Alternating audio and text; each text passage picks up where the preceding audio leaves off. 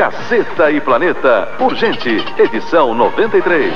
Milhares de pessoas se acotovelam, se descabelam, se escalavram, só pra ver a reestreia mundial do Caceta e Planeta Urgente. Caceta e Planeta, urgente, edição 93. De volta amanhã, na Terça Nobre.